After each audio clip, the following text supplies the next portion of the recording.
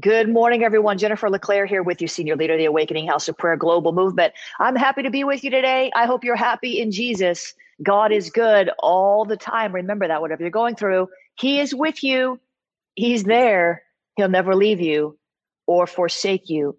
God is good. Listen, our global family spans 18 nations, but our headquarters are here in South Florida. We have a church called Awakening House of Prayer a church in Birmingham, Alabama, a church in Coalinga, California. But our church here in South Florida, we have services, two of them, 1047 a.m. and 1.30 p.m.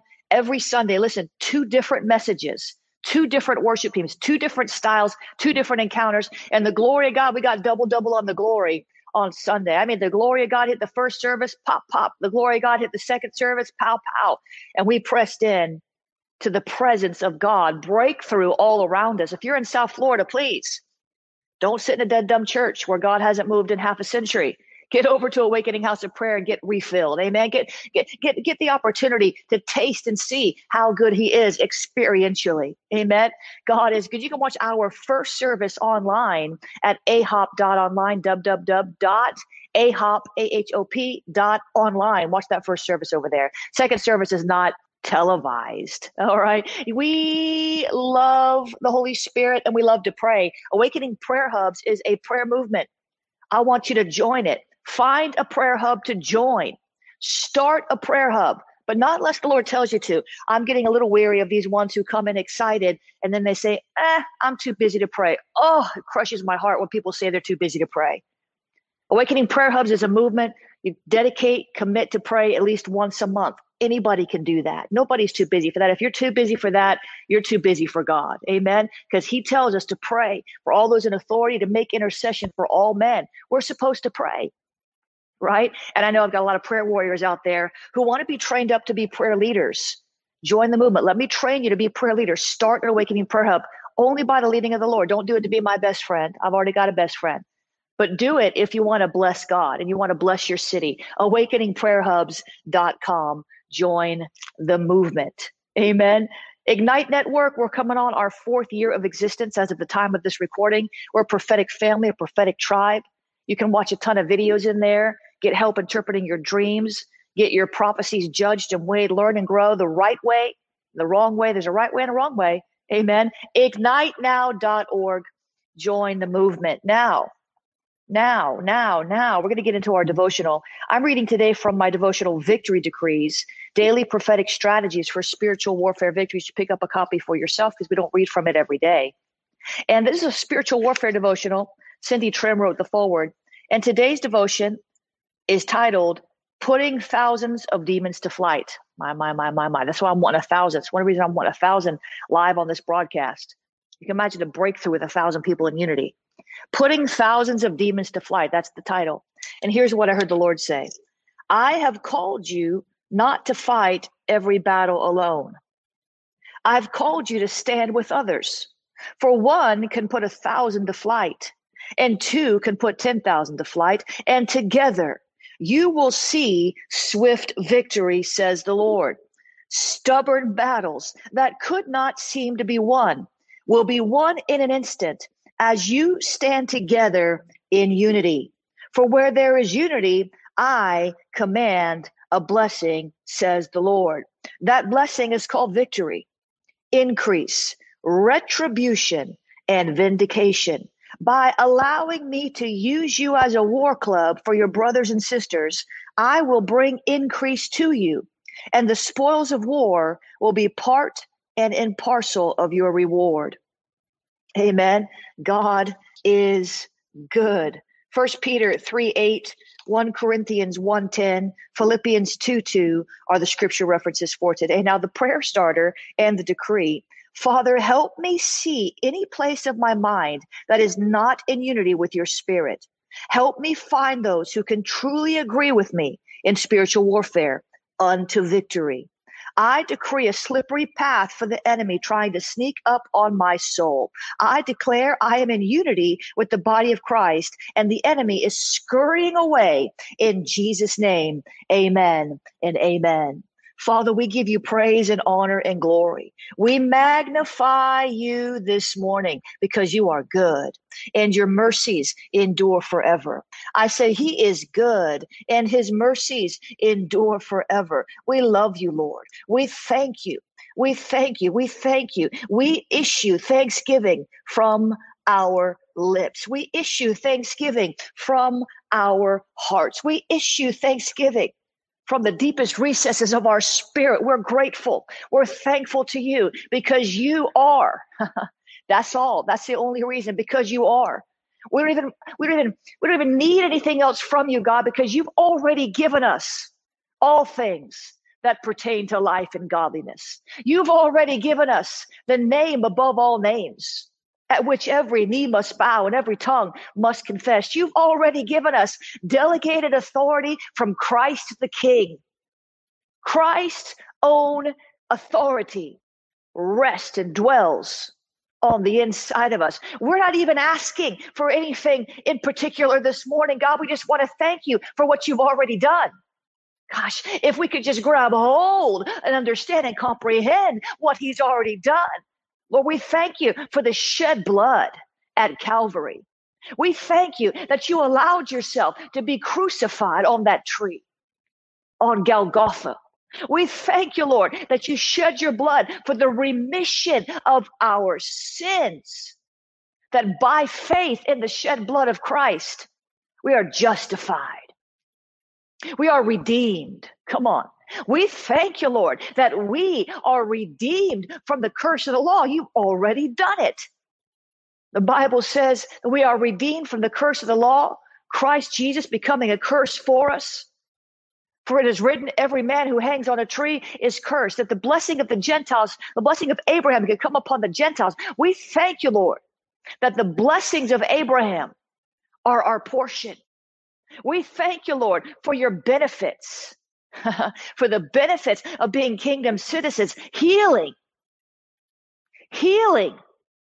We thank you, Lord, for your healing power. We thank you, Lord, for your resurrection power. We thank you, Lord, for all the things you've already done. Help us not to forget to thank you for what's available to us every moment of every day. Your spirit, your very presence, the spirit of life available to us all the time an open door policy with the King of Kings, the Spirit of life, the Spirit of truth to lead us, to guide us so that we don't have to stumble, we don't have to fall. Every moment of every day, you're ordering our steps. How it changes our prayer life when we understand how much He's already done for us, what is already available to us by way of the covenant. When we begin to understand that, listen, when we begin to understand what he's already done and how thanking him for it is one of the most powerful prayers you can release. I said, thanking him for what he's already done is one of the most powerful prayers you can ever release. Why? Because it acknowledges that it's a done deal. When you thank him Lord, I thank you that I'm healed. Even when your body is manifesting symptoms, the prayer is in the thanksgiving because you are acknowledging the reality of who you are in Christ. You are healed. You are acknowledging in that moment of thanksgiving the reality that you are seated in heavenly places with Christ Jesus. You are acknowledging by that thanksgiving that by his stripes you are healed. You're acknowledging that. You don't have to pray and cry out and just, oh, just, oh, Jesus, please heal me, please heal me, please heal me. You can do that. That doesn't bother him. But how much more powerful is it when we meditate on the living word of God and get faith to arise in our spirit? That when we read that word, we can say, Thank you.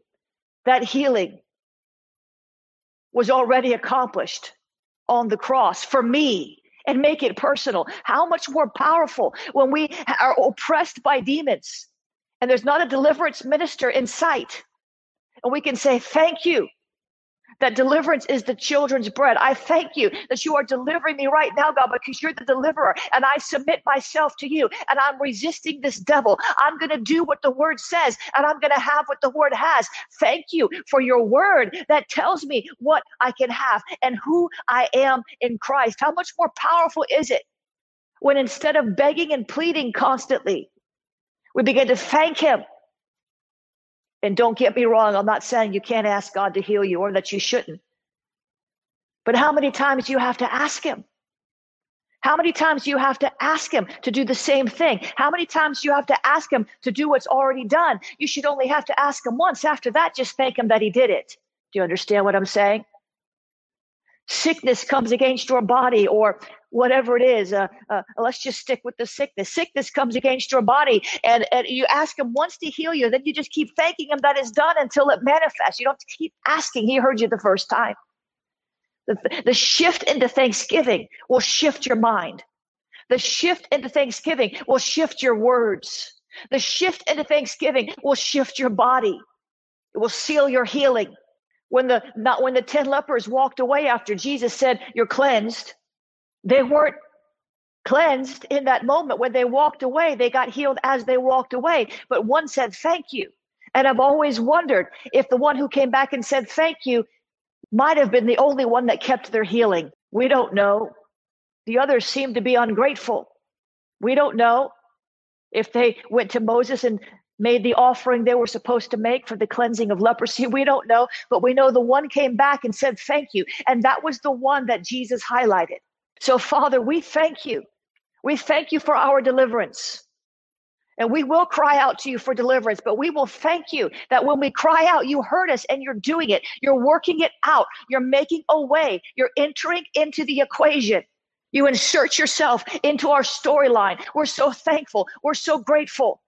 That prodigal, Lord, we thank you that they're coming back to you. We thank you that they're coming home. We've cried out and cried out and cried out and cried out and cried out. And that's not wrong because it's the persistent prayer that many times brings results. But let me just shift your mind a little bit. Thanksgiving can be your prayer, can be part of your prayer. It can be the seal on your prayer. It can be the expression of gratitude that you know that He's doing it. So we thank you. Come on, what do you need to thank Him for? that hasn't manifested yet? What do you need to thank Him for that you've been praying for? And don't get me wrong, I'm not saying to stop praying. I'm saying to start thanking. Because many of us, we pray for the same thing over and over and over, but we never thank Him. It's as if we think He didn't hear us. It's as if we think that it's not happening, but it is happening. It just doesn't always happen in a moment's time. It's not always a miracle. So, Father, we thank you that our finances are healthy. Come on, begin to thank Him for a healthy flow of finances. I don't care if you're seeing it yet or not. Thank Him for it. What's the song? Praise Him in advance, right? There's something about that.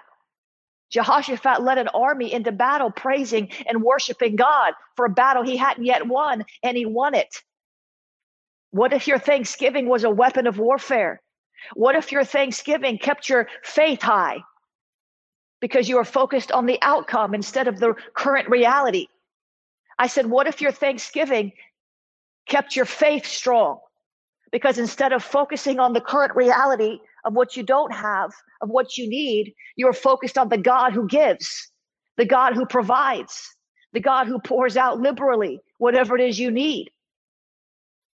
So, Father, help us to continue to walk in faith. Help us to continue to trust you. Help us to continue to walk in an attitude of thanksgiving. Help us to continue to remember all the things you've already done. Help us to remember the past victories. We thank you, Lord. We thank you for all of your promises, which are yes and amen. We don't have to beg. And how much more powerful is it when we get this concept and we spend a lot less time begging God for what we need, and we begin to spend more time interceding for other people who don't know God the way you do. How much more powerful is it when we step into a realm where we can ask, believe, and thank God in the same breath? And stand in faith for the promise to manifest and then move on and pray for somebody else. And we're spending more time interceding for our cities, more time interceding for our lost loved ones, more time interceding for our countries than we are asking for what we need. Seek you first the kingdom of God and his righteousness, and everything else we need will be added to us. It doesn't even say we have to pray about it. It doesn't even say we have to pray about it. You ever catch that before? Matthew 6 33. Seek ye first the kingdom of God and his righteousness, and everything else you need will be added to you. There's no mention of having to ask for it. And I'm not saying that we don't have to ask because James says sometimes, sometimes, sometimes you have not because you ask not. But what if we spent more time thanking than asking? And what if we were able to spend more time interceding for others than being concerned about the affairs of our own life, trusting that God will raise somebody else up to intercede for us? And what if our prayer life became more of a of an adoration of who he is? What if our prayer life became more of an intimate fellowship with the Lord God Almighty? What if our prayer life became more about acknowledging who he is and, and studying his emotions and enjoying his presence? Than always having to beg and plead God to do something that He already said He's done.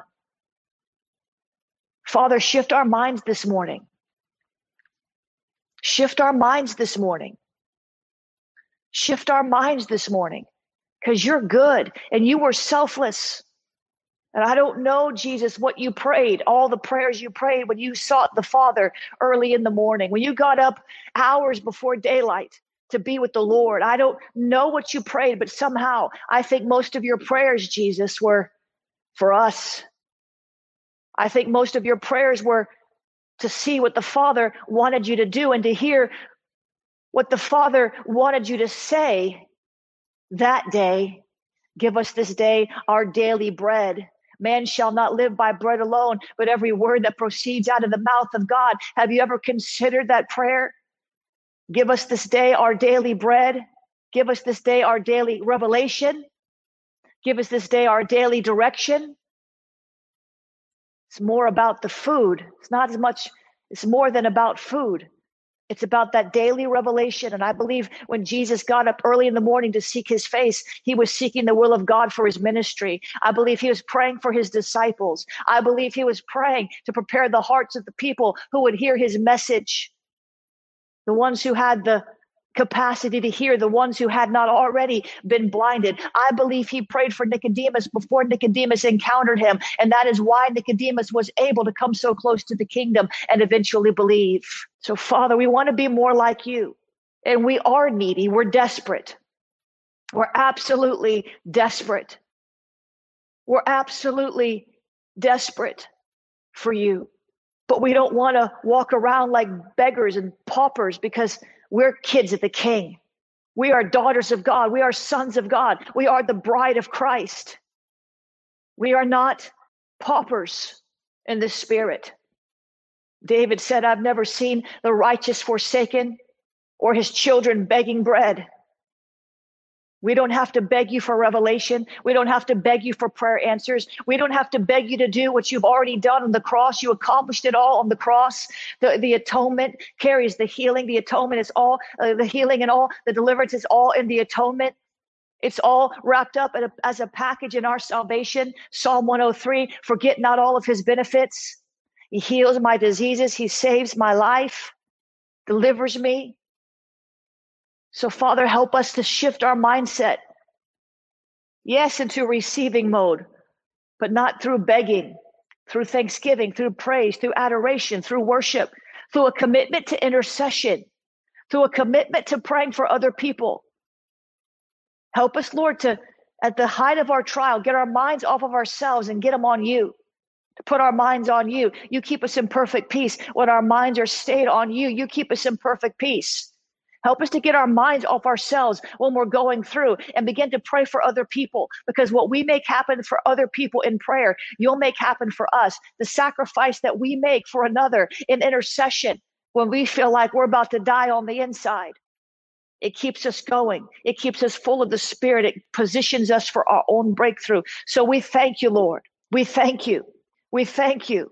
We thank you. We offer up the sacrifice of thanksgiving. And I realize for some of you today, it is a sacrifice. I realize for some of you today, it is a sacrifice. But guess what?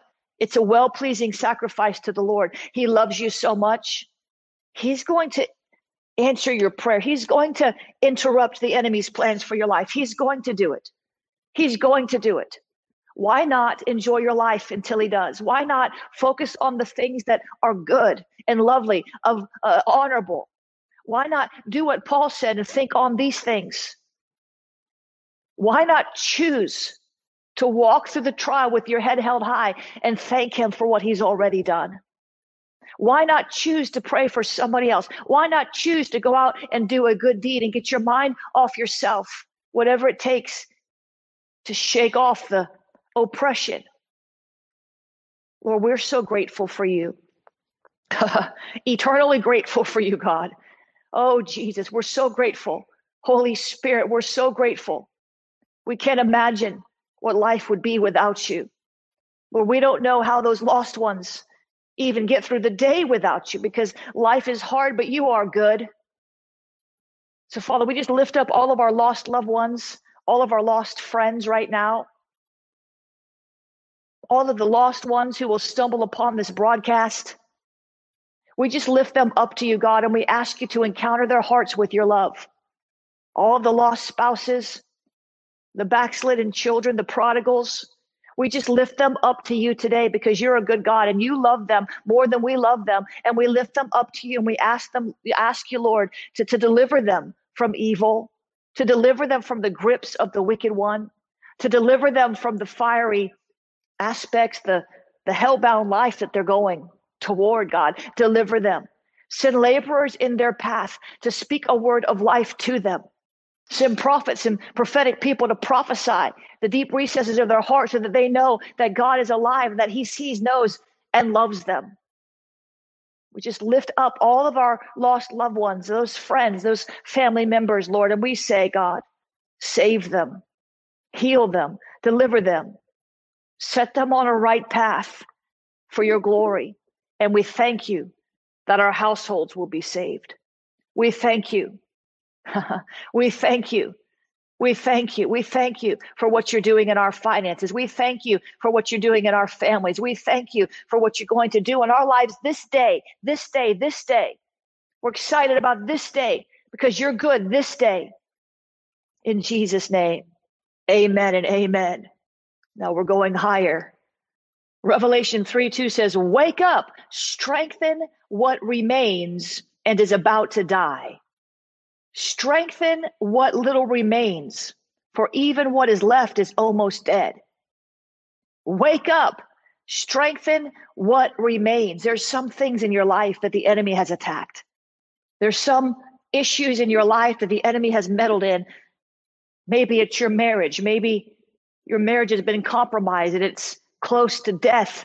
It appears to be. Strengthen it.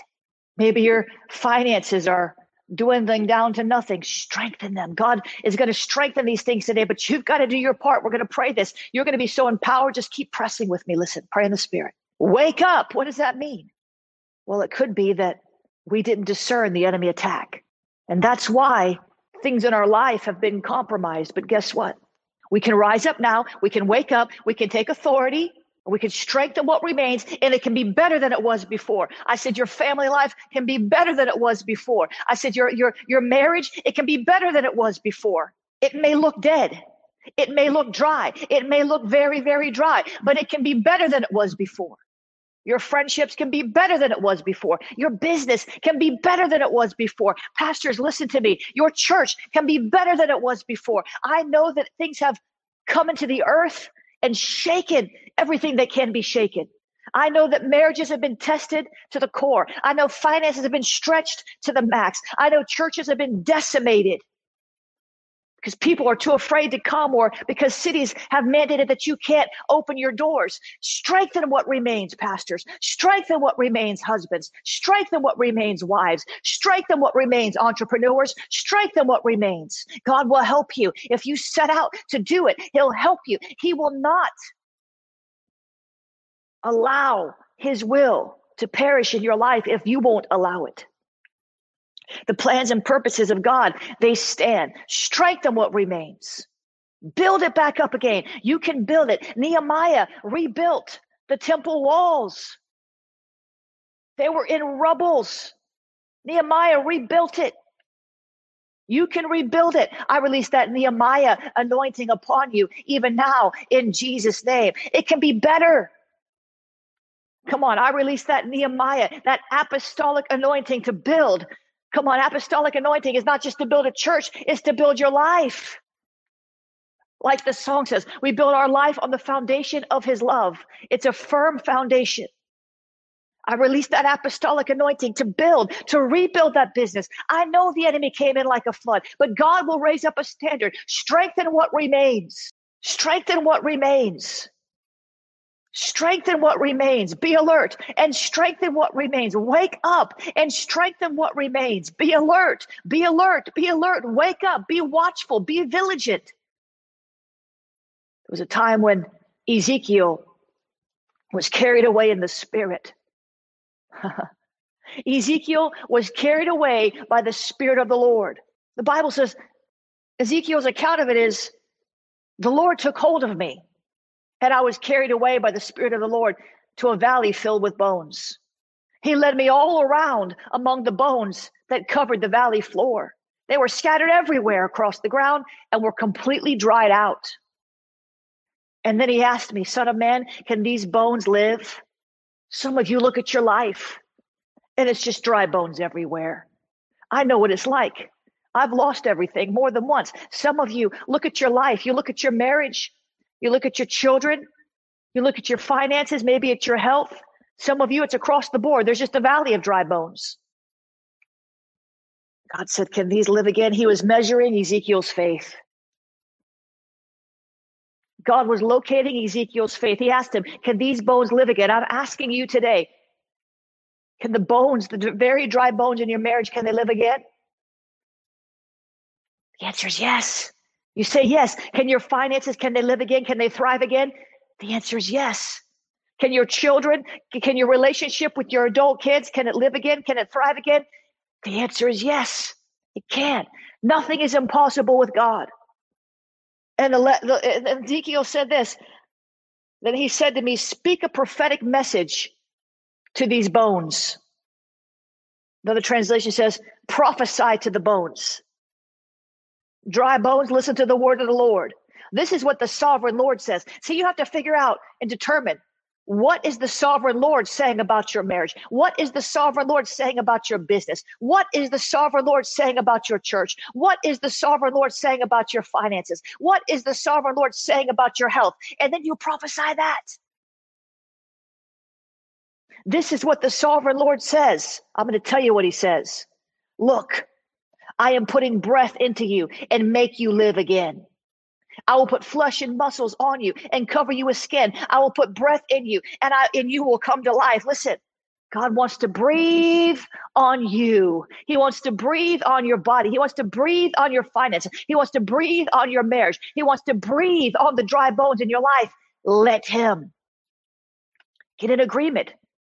Get in agreement with God. He can resurrect whatever the enemy has come in like a flood to destroy. Strengthen what remains. There were still bones there. God didn't tell him to prophesy the bones into existence. There were still bones there. There was still something to work with. There were still bones. Your husband, your wife is still in the house, or even if they're not still in the house, if you're still married, and even if you're not still married,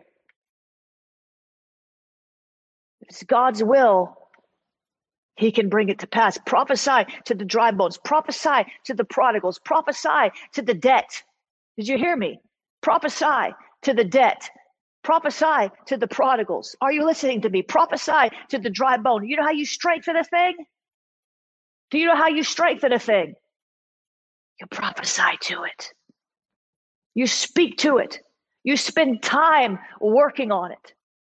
If your house is falling apart, how do you strengthen it? How do you strengthen a roof that's leaking? You fix it, you spend time on it.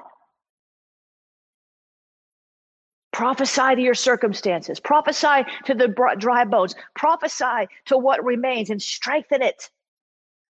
Listen, here's the secret.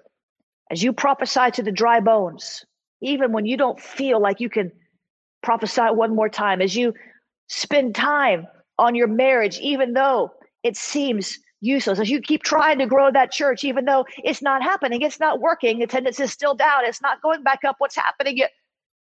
Don't look. Don't look.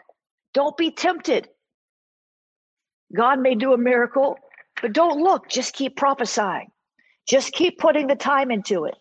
Sometimes things get worse when they get better, before they get better, when God begins to deal with the hearts of people. Sometimes they run further away before they come back. You keep prophesying. You keep prophesying. You keep prophesying to those dry bones. Before you know it, God will bring back to life his will. He'll bring it back to life. He'll bring his will never passes away. The purposes of God stand always. Amen. Amen. Amen. Amen. Somebody prophesy. Amen. Oh, come on. Amen. God is so good. Isn't he? Lord, we thank you that the dry bones will live again. We thank you that the dry bones will live again. We thank you that the dry bones will live again. We're going to keep on. We're not going to grow weary in well doing. We're not going to grow weary in prophesying. We're not going to grow weary in that. We're going to keep on prophesying. We're going to see life come back into what you birthed, God. Because anything that you birthed can never die. Anything birthed of the Spirit will never die. So we thank you, God. We praise you and we thank you. We honor you. We adore you. In Jesus' name, amen and amen. Hallelujah. Hallelujah. I want to share a few things with you first that you can get involved in. Amen. First thing I want to do is, is remind you how you can sow people always ask that. And then we have to answer a lot of emails if I don't tell you here. You can sow at jenniferleclaire.org slash donate. You can use the Cash App. We have a new Cash App. It's I am dollar sign I am Jennifer LeClaire. You can use the text to give. Text the word pray 754 701 2161. Text the word pray 754 701 2161. You can also use the PayPal, paypal.me slash Jennifer LeClaire. Come on, Richard, keep prophesying. PayPal.me slash Jennifer LeClaire. You can use the Venmo. Venmo is at Jennifer LeClaire, and you can use the P.O. Box. If you want to send a check, a money order, a gift, a book, whatever it is you're trying to send, P.O. Box 30563, Fort Lauderdale, Florida 33303. And we thank you for your offerings and your support. We can't do what we do without faithful support from those who consume what the ministry pours out on a daily basis. Amen. God is so good. I'm going to tell you tell you something you can get involved in. Uh, there's some free stuff and there's some paid courses. Uh, first thing is remember you can watch our our service online at ahop.online. Watch Awakening House of Prayer services online at www.ahop.online.